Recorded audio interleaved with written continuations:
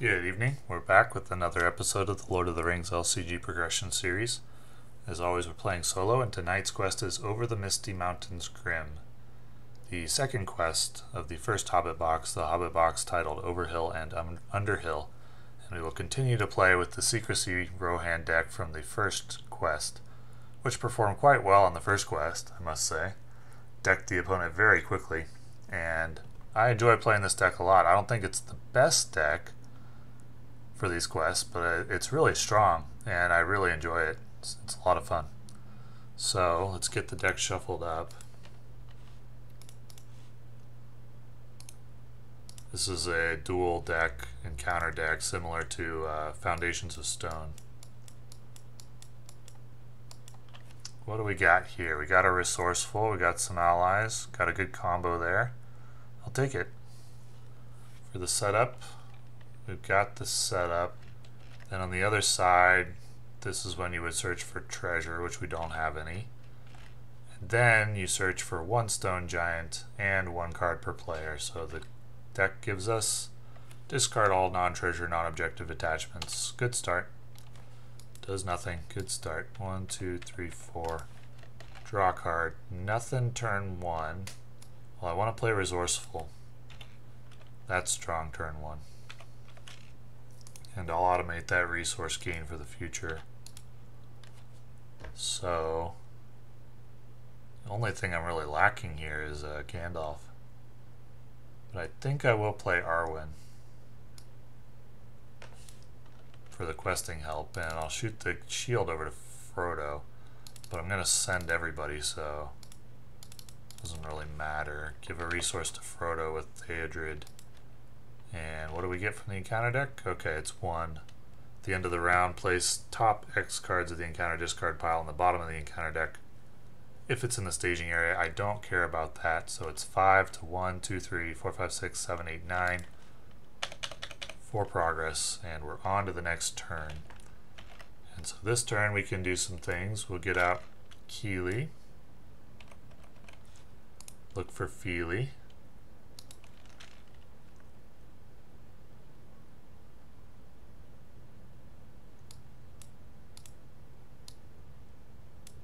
And then play a very good tale. So we are going to be shuffling and discarding the top five, two, three, four, five, and we can play two allies worth up to six cost, and so we'll play double Riddermark's Finest, and the others get discarded. Alrighty, and I can get another Riddermark's Finest. No, I can't. Don't have the resources yet. Okay. Uh, so I'll just go ahead and quest. I'll leave one of those active in case I need it. Faramir would be amazing here. Also, uh, astonishing speed. Uh, the card is so four, five, six, seven to 1, 2, 3, 4, 5, 6, 7, 8, 9, 10, 11, 12. 5 progress. Go ahead and move to that location. And I would be putting discard cards back on the bottom. Yeah, doesn't matter. They're not going to come up before that deck goes away. That's kind of, I guess that's a location that has more of an effect in other quests. I don't know. Oh, there's Faramir. Okay. I have to save up for him, but that's fine. Uh, I'll get out uh, Galadhrim's Greeting, actually, I think. Three, one, two, three, four, five, six, back down to the secrecy range. And also another Riddermark's Finest. Whoops, did not mean to do that. There we go, he had two resources, now he has none. And we'll go ahead and just quest. I'll leave one of these up. I'll leave Kili up. Arwen Shield to go to Frodo. One threat there. One resource to Theodred after Theodred commits to a quest. Choose a hero committed to that quest and add one resource. So I'll give it to Theodred. So I want Faramir out next turn. And the counter card is Galloping Boulders.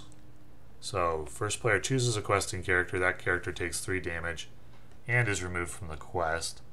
I'll go ahead and sacrifice. Should I sacrifice Fili or just put it on Frodo maybe? Three damage, convert it to threat. One, two, three, no problem. And Galloping Boulders gain Surge. So Frodo's no longer committed. Uh, doomed one, and that'll surge again. Or I could increase threat by four.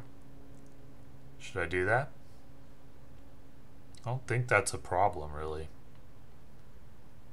Sure. Eat the threat.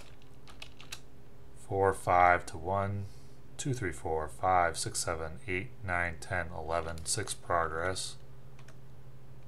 2, 3, 4, 5, 6. Still need one more turn to clear. But this turn, oh, okay, well that's cool.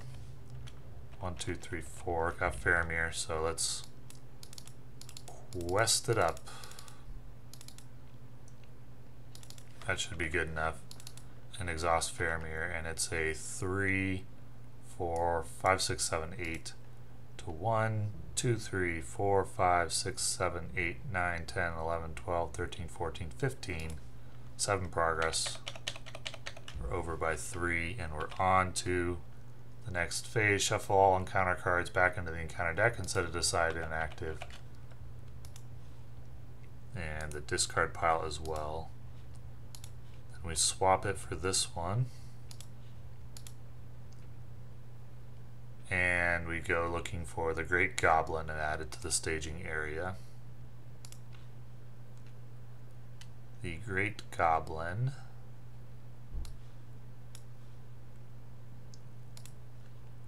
And then reveal three encounter cards, but you can spend Baggin's resources to reduce it to one, which I will do. And the one is a location. Okay, so that resolves the quest phase. Next, we'll move to that location, and the Great Goblin will engage. The Great Goblin will attack Frodo. For five, defending player deals damage equal to the number of goblins engaged with. That's one. So one damage, I'll put it on a horse. Sorry, horse. And we got five damage to two shields, plus one with Arwen is three shields, so two threat. Exhaust Frodo, and then I can strike back for two damage. I do have to uh, discard a card for the Great Goblin, and if it's a Goblin, it goes to staging, and it is, so it's in staging. But no problem. Gandalf would be nice here. Alright, well clearly I have enough to quest. I just need to deal uh, 8 damage. So 1, 2, 3, 4, 5, 6, 7, 8. I can quest with everything else. Let's see, can I do both in the same turn? 1, 2, 3, 4, 5, 6, 7, 8. Let's say I quested with them. So I'd have Eowyn. 1, 2, 3, 4, 5, 6, 7, 8. 9, 10, 11, 12, 13, 14, 15. Questing? I don't think I can do both in the same turn. So I'll play Riddermark, Rider of the Mark. Uh, he, I don't have to engage him. I can just ignore him. He does have plus one threat while this location's active, which I could do something about, but I want the horses for attack, so let's just go two, four, one, two, three, four, five, six, seven, eight. Extra horse for the enemy, Faramir for the enemy. That should be good to set up the victory next turn. Bilbo as well. Right now, what is that? One, two, three, four, five, six. And Faramir. That's good, right? When revealed, starting with the first player, each player must choose one goblin from discard and add it to... There, are there any? There are none. Okay, that's a dud. So it's 2 to 1, 2, 3, 4, 5, 6, 7, 8, 9, 10. 8 progress. 1, 2, 3, oh, 7 progress. 2, 3, 4, 5, 6, 7. That will not engage. I'll just leave it there. Great Goblin can attack Frodo. Okay, that's a dud, so three threat. And we have to discard one card and see if it's a goblin. It is not.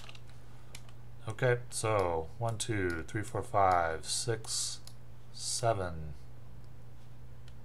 eight. The six damage. One, two, three, four, five, six. That will put the Great Goblin in the victory display. And we're on to the final turn. And we'll just go ahead and exhaust Faramir and quest everyone else. Don't think the encounter deck can do anything about this, but we'll see. We'll play Astonishing Speed. So, what does it have? Location, that's 3, 4, 5 to 1, 2, 3, 4, 5, 6, 7, 8, 9, 10, 11, 12, 13, 14, 15, 16, 17, 18, 19, 20, 21, 22, 23, 24, 25, 26, 27, 28, 29, 30, 31, 32, 33, 34, 35, 36, 37 to 5 is 32 progress. I don't know, I lost count of how many I had before. I think 30, uh, I think it had 4 before. But anyway, we're way over. Players defeat this stage, they've won the game. Great Goblins in the victory display. That's game. And yeah, I enjoyed playing this deck quite a lot. It's a lot of fun for these Hobbit quests, and hopefully you all enjoyed watching it. Thanks for watching.